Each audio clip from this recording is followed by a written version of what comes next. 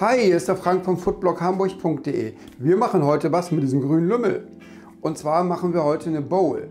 Für diese Bowl brauchen wir noch so ein bisschen Tomate, Avocados und viele andere Dinge. Das zeigen wir euch jetzt in unserem Video. Als erstes werden wir gleich Sushi-Reis kochen, aber jetzt kommt erstmal unser Intro.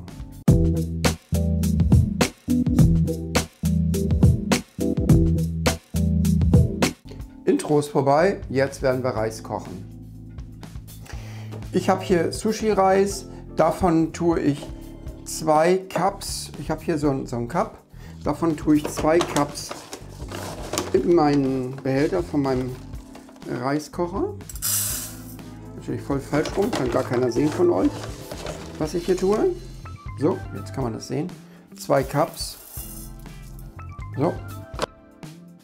Bin jetzt dabei, den zu waschen. Wenn man das Wasser sich jetzt ansieht, ist es komplett weiß. Das lassen wir jetzt mal ab. Und da müssen wir halt jetzt bestimmt noch ein bis zweimal spülen, bis der richtig schön sauber ist. Im Vergleich zu eben ist das Wasser jetzt schon fast absolut klar. Das reicht uns aber komplett aus. Ich lasse das Wasser jetzt hier ab und dann können wir da gleich zweieinhalb Cups Wasser drauf tun und unseren Reis kochen. So, ein Cup ist schon drin, das zweite und jetzt kommt noch ein halbes. Und dann können wir den Kocher zumachen. So, Klappe zu, einmal auf Menü, dann einmal auf Sushi einstellen, da steht Sushi, einmal auf Start und das war's schon. Jetzt warten wir darauf, dass der Sushi-Reis fertig ist. Es gibt eine Pause und ein Käffchen. Ich schneide mir jetzt gerade noch mal schnell eine Chili runter. Wem die zu scharf ist, der schaltet jetzt besser ab. Nein, Scherz.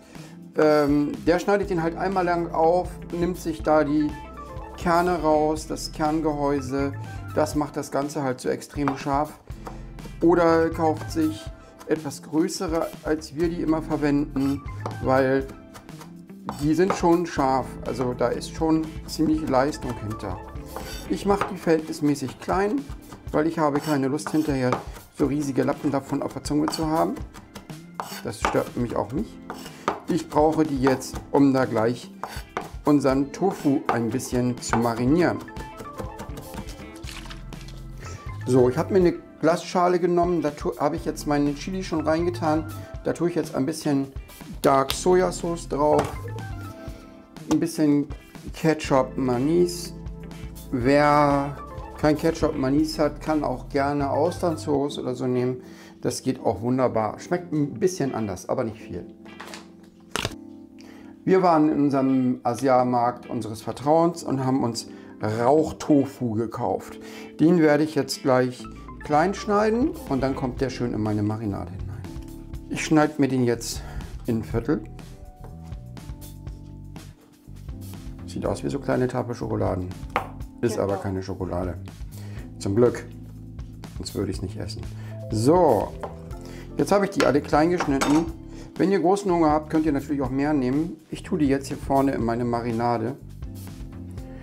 Und da bleibt er halt jetzt drin. Das ist die Zeit, über die unser Reis jetzt auch braucht. Das ist eine gute Zeit. In der kann auch unser Tofu jetzt hier wunderbar eingelegt sein. Es geht weiter. Erstmal Licht. Zu viel, aber. Oh Mist. So besser? Ne, ein bisschen mehr. Genau. Sehr schön. So. Unser Sushi-Reis ist fertig. Ich habe hier schon wieder Essig in der Hand. Reisessig. Davon tue ich mir so ein bisschen was in meinen Topf. Wie viel ungefähr? Weiß ich nicht, so Pi mal Daumen. Ich schreibe das wieder auf einen äh, Einkaufszettel und dann seht ihr die Mengen. Ich, also ihr habt das ja jetzt gesehen. Das ist jetzt so, ich glaube, das ist eine gute Menge. Ich Jetzt mein- geht los. Jetzt geht's richtig los. Genau, jetzt machen wir mal den Herd an. Ich stelle den mal so auf 3. Ähm, wahrscheinlich wird der eine oder andere auch meckern jetzt darüber, dass ich keine anständigen Angaben mache nach der Menge. Aber das Problem ist einfach, dass ich ganz viel so frei außer Hand mache. Und es mir schon ab und an ein bisschen schwer fällt, da so Mengen anzusagen. Also ich habe da jetzt ein bisschen Zucker reingetan. Ich tue da jetzt noch mal ein bisschen Salz dazu.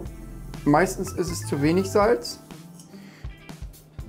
So, das Ganze erwärme ich jetzt und muss sich auflösen. Und dann kommt das gleich über unseren Reis. Wie gesagt, unser Reis ist ja fertig. Deckel auf. Ich nehme mir den jetzt da raus.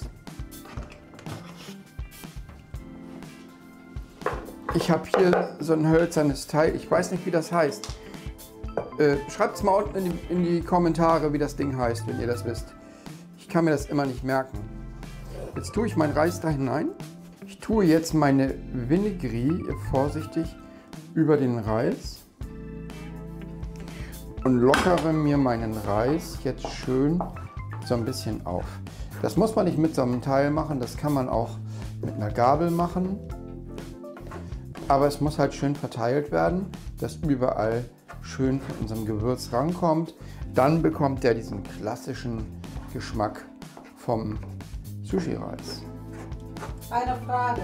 Kann man auch mit der Holzlöffel? Ja, natürlich kann man das auch mit dem Holzlöffel. Klar. So. Nicht matschen, weil dann verklebt er völlig. Und das wollen wir nicht. Wir wollen ja schon, dass er so ein bisschen locker ist. So, der muss jetzt so ein bisschen abkühlen, weil so heiß wollen wir den ja gar nicht. Und in der Zwischenzeit können wir uns halt um unser Gemüse kümmern.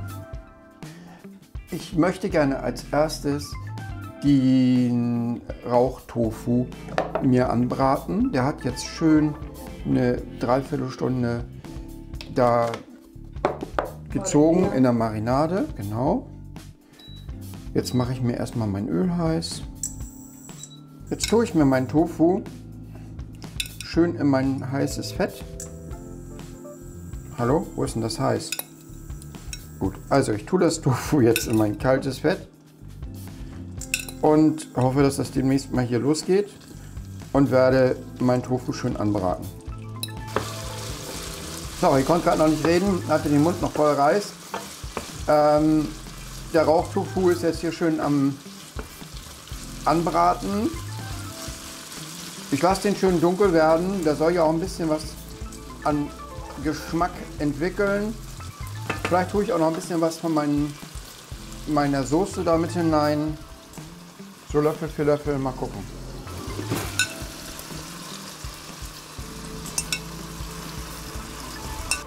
So, unser Reis ist soweit. Ich tue jetzt schon mal so ein bisschen was hier auf meinen Teller, auf meine Bohlschale. So.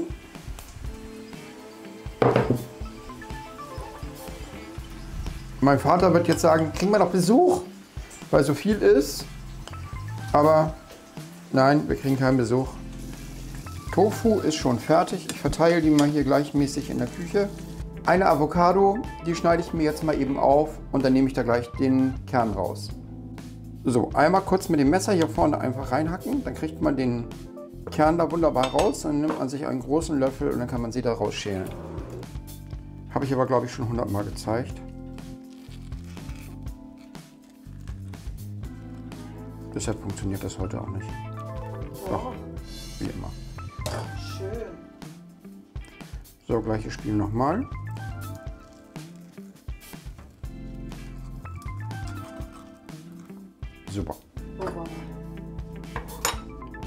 Ich schneide die einfach nur dünn auf und dann kommt die halt in meine Bowl hinein.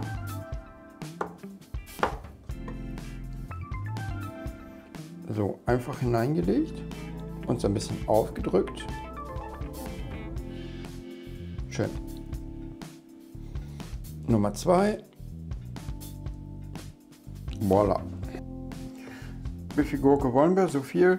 Ich habe mir eine schöne frische Bio-Gurke gekauft.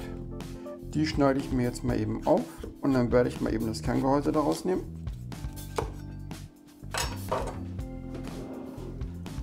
Oder mit großen Löffel?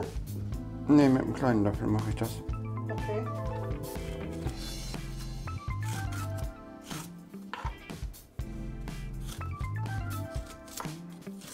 Das ist ja einfach, ne?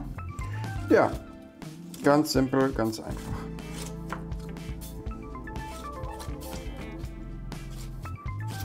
Fertig.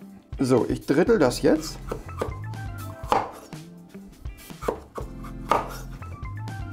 Und dann schneide ich mir hier einfach so kleine Würfel runter. Ein bisschen Salz auf die Gurke. Dann tue ich jetzt hier ein bisschen was von meiner Gurke hin. Eigentlich soll das dahin.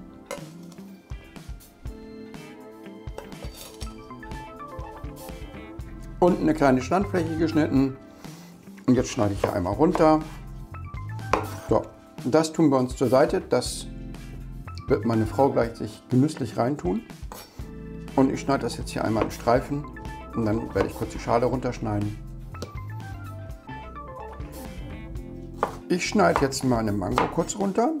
Währenddessen kann ich ja natürlich ein bisschen hier quatschen. Ähm, man könnte natürlich jetzt auch noch hart gekochte Eier machen.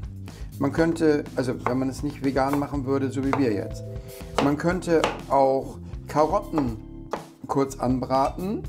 Schönen Gruß an die Anfrage in den Kommentaren, wie man süße Karotten macht. Ich mache demnächst nochmal ein neues Video. Auch wieder eine Bowl. Da werde ich dann süße Karotten machen. Damit man das dann auch nochmal genau sieht, wie man das macht. Und dann mit Spiegelei. Ja, müssen wir mal gucken. So. Ich habe hier so ein paar kleine Tomaten, die werde ich nur halbieren. Und ich habe hier jetzt auch noch ein paar große Tomaten, die werde ich vierteln. Die große noch da. Wir wollen das ja eigentlich auch im Spund haben. Eigentlich hätte ich die Tomate hier zwischen machen müssen, damit sich das in den Farben besser ausgleicht. Das habe ich jetzt blöderweise nicht gemacht. Dann machen wir noch ein bisschen Tomate hier in die Mitte. So. Und dann kommt als nächstes der Tofu. Hier unten hin. Hallo. Mal schön hier dahin gehen, wo du hin sollst. So. Das sieht doch schon ganz genial aus. Sieht richtig, richtig toll aus, ne? So, dann machen wir jetzt noch mal ein bisschen Salz über die Tomate. So, ein bisschen Salz machen wir jetzt noch hier über die Tomaten.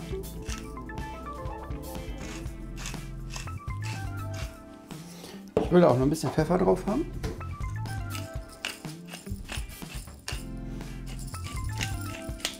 Das war's. So sieht unsere mega schöne Bowl aus. Meine Stäbchen noch drauf. Und dann werde ich die mir gleich verspeisen. Damit sind wir leider schon wieder am Ende von diesem Video. Das war natürlich super schnell jetzt. Ist ja natürlich auch noch so ein bisschen was am, zu machen. Ich werde mir noch mal Gedanken machen über eine neue Bowl. Die werden wir dann auch in den nächsten Tagen noch schnell machen. Weil ich finde Bowl schon genial. Es ist eine tolle Art, super frisches Essen zuzubereiten und zu essen. Ähm, ja, wir würden uns freuen, wenn ihr uns einen Daumen nach oben gebt. Wir würden uns über Kommentare freuen. Schreibt auch unten gerne rein, was wir machen sollen. Oder wenn ihr irgendwelche Ideen habt für eine Bowl, schreibt es mal unten rein. Machen wir gerne. Ähm, solltet ihr uns noch nicht abonniert haben, würden wir uns freuen, wenn ihr uns abonnieren würdet. Und dann sagen Tschüss und Frank vom footballhamburg.de. Bis zum nächsten Mal. Ciao.